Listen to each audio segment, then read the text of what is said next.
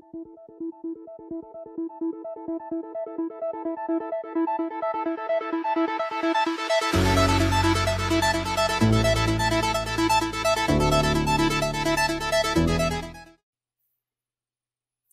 and welcome to SAP on Microsoft Azure. My name is Holger Bruchelt and in this video I want to talk about how to use Microsoft Forms to update SAP data from Excel leveraging Power Automate.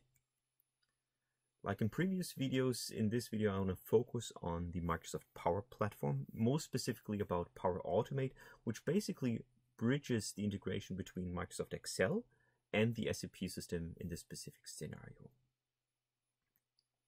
So before I go into the actual details, I want to highlight that um, a lot of things have already happened in the background. Um, more precisely, um, in one of our last videos where we connected Microsoft Excel tables via Power Automate to SAP is the foundation of um, what we're doing here in this specific scenario.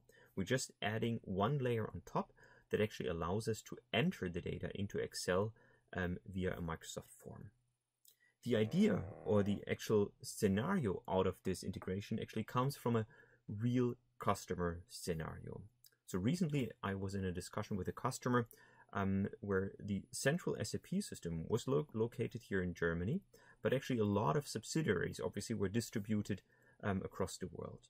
Now, um, whenever data in the SAP system needed to be updated um, by one of these subsidiaries, um, these employees sent an email um, to a central person in, in, in, Germany, and this person then manually had to copy and paste basically the data into the SAP system. Now they had tried to use Excel in some extent, but um, um, in several cases these Excel sheets were still too complicated for the users, so um, a lot of rework needed to be done. So out of the discussion that we had with the customer, we actually implemented a very nice scenario where we said, well, working with Excel is still um, pretty helpful in these scenarios, but inputting the data into Excel directly, that didn't work out. So on top of Excel, we actually created a Microsoft Forms which simplified the data input. Um, this form then would write the data into Excel, and then from Excel there was an additional approval process, so to say, where a user went line by line over the, the items and then using Power Automate, updated the data in the SAP system. So Let's take a look how this um, works.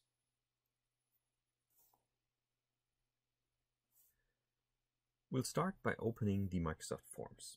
So this would be the form that would be available for the subsidiaries where um, the users would just open up this form, would enter a product ID, would provide a category, select a name, Surface Book 4, very latest device, enter price, weight measure, height, and submit this request. Now, back in the back office, um, the user could open up an Excel sheet, and in this Excel sheet, the user would see um, the product ID, the new created product. Now, what the user in the back office would now do is uh, the user would just go to um, data and open up a form. So very similar like in, the, in, a, in a previous video, we're um, looking at the available Power Automate flows that are associated with this specific table. And there is one entry, create new product, which I can now just execute here. I run the flow. And now this specific product is created in the SAP system.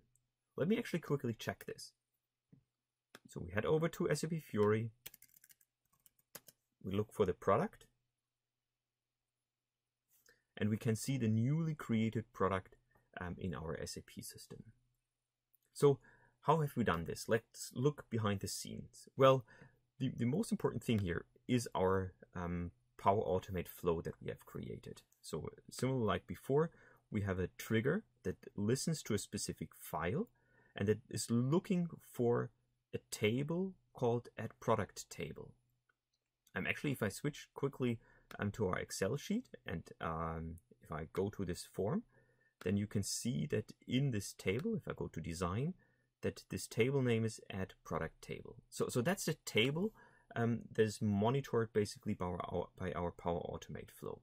Once there is a change, once this um, Power Automate flow is triggered, then we trigger off the get product, we fetch the CSRF token, and then we add this token, uh, this this product to the SAP system. Now, since I am responsible for, for a certain subsidiary, I know um, the supplier ID, for example. I can pre-populate some certain fields, but obviously the, the, the name, the price, the description, and so on, these are all variables that are sent over to the SAP system. So the only thing left basically is how do we get this form? How can we create the form? And there actually um, Excel has a pretty nice functionality where you can go to insert forms. And let me just open this, this form, which I already had created. I mean, originally I used a new form, but in this specific case, I just go to edit form. And now we can see the data input. So I, I created a few questions. Um, what is the product ID? What is the category? And, and so on. Obviously, I could rearrange these fields as well very easily. I could um, also change um, the information in centimeters or whatever. So, so it's very, very easy to, to update this. I can always do a quick preview and, and check um, if this form um, suits my needs. And, and that's basically it. So now whenever someone has access to this form and I can share this um, with users in my company only, in my organizations only, I can make it um, public so that anyone can, can access this specific form. But whenever then someone enters this data, the new a new entry is created here in Excel. So in this specific case, I can actually see when was it created, who created it, because it's part of our organization. And then also um, the related information here about the product. And that's it. So I hope this quick video showed you how you can actually build forms on top of your Excel sheet and with this provide a very, very easy user experience for your end user. The important thing is that this is really low code. I mean, there's no coding involved. There's no um, complicated um, creating new user interfaces. It's very simple, very straightforward. So really something where you can enable your business users to create a full end-to-end scenario while still obviously IT with the connection to the SAP system has full control of what's actually happening. If you like this video, um, please subscribe. Thank you very much for watching. Stay healthy.